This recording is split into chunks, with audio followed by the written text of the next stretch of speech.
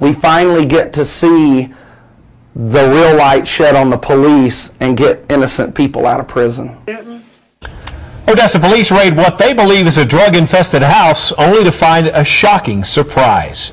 Good evening, everyone. They didn't find any drugs. Instead, they found a poster telling them they were on a reality show called Kop Busters. Eddie Garcia joins us now live in the newsroom with the story. Eddie, what is Kop Busters and what are they trying to do? Well, Tatum, it's an online reality show that goes around the nation exposing what they say is police corruption.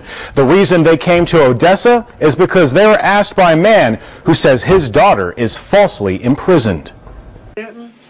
Video cameras, plants masquerading as drugs, and a message are what police found while serving a search warrant today. The best equipment known to man is what Kop Busters has, and we're going to continue going across America busting these cops. The reality show team out of Austin has been setting up the fake drug den for six months, going through painstaking methods to keep it a secret. We had to use encrypted emails.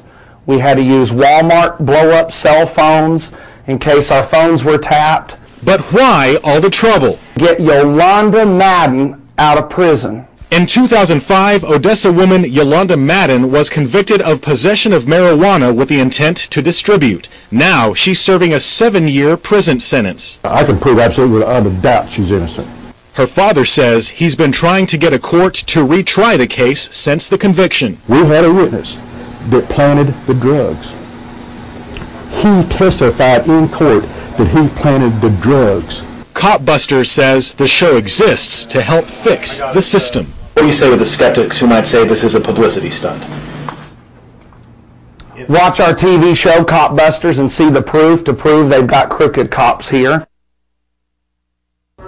You may be interested to know that Cooper himself is a former police officer here locally. Odessa police say that this matter is still under investigation, and at this point, they're looking to see if any laws were broken. We will continue to investigate the Yolanda Madden case and bring you any developments as they come around. Live in the newsroom, Eddie Garcia, CBS 7 News.